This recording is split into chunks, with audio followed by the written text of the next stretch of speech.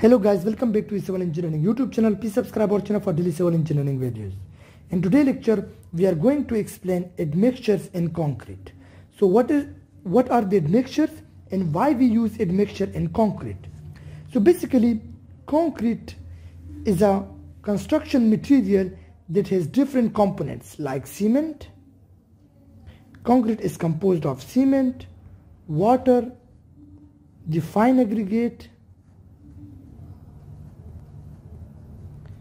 and coarse aggregate and it also contains admixtures. So what is the purpose of admixtures in the concrete? So in today's lecture we will be focusing on the admixtures. So basically there are two types of the admixtures. So one is one we call is mineral admixtures. One is the mineral admixtures.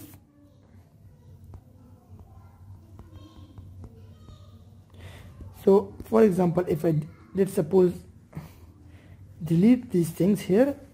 So one is mineral admixtures and the second one is the chemical admixtures.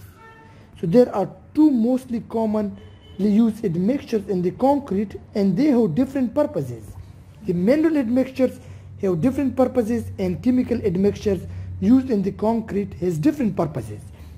The mineral admixture used in order to increase the strength of the concrete, increase the strength of concrete. They are also used to making the concrete more durable.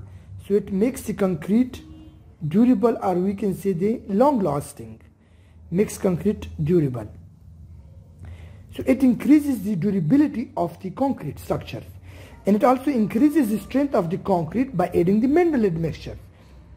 The third benefit of the mineral admixture is that it makes the concrete more eco-friendly.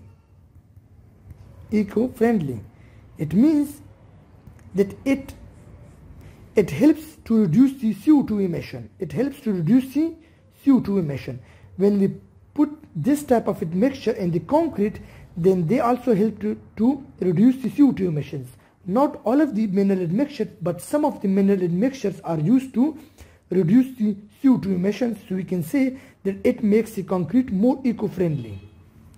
The fourth one is that mineral admixtures are used to reduce the heat of hydration. Heat heat of hydration. What does this mean?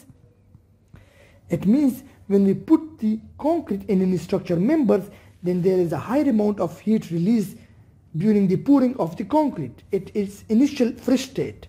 So what we do, we put this mineral admixture and it reduces this reaction which is occurring between the cement and water at the early stage. So by putting the mineral admixture, it reduces the early heat of hydration. So this helps in making the concrete more strengthable. So it helps to reduce the heat of hydration. So now what are the main chemical admixture and what are their purposes? Their most commonly purposes are they are helpful in increasing the workability or we can say it makes the concrete more workable. So they have high workability. High workability. The second one is it has high acceleration of the setting. High acceleration of setting time of concrete. So when we pour the concrete in a structure member so when it setting time is higher so by acceleration of the setting time I mean when we pour the concrete in any structure member so it has the high high setting time. So what we do sometimes we need early high strength so for this reason, we put such type of admixtures, chemical admixture into the concrete in order to accelerate the setting time of the concrete. So when before the setting time, for example, is 50 minutes, 50 minutes, so by putting the chemical admixtures, they accelerate the setting time of the concrete, so it makes it 20 minutes.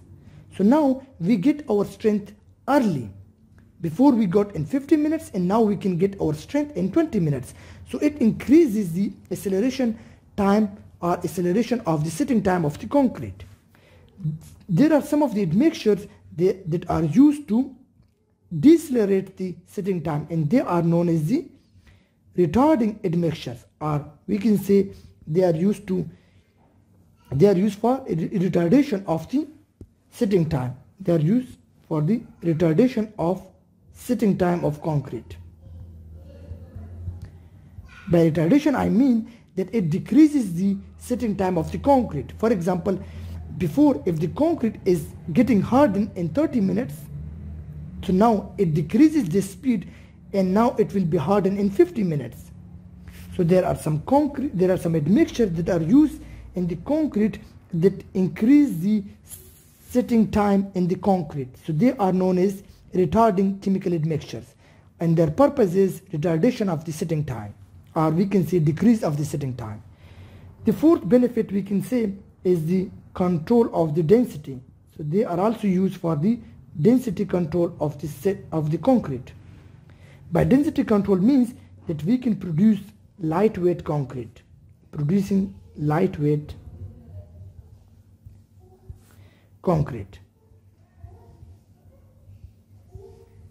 so these are the different advantages of the mineral and chemical admixtures. So hope you guys understand and don't forget to subscribe our channel for daily civil engineering videos. Thank you for watching our video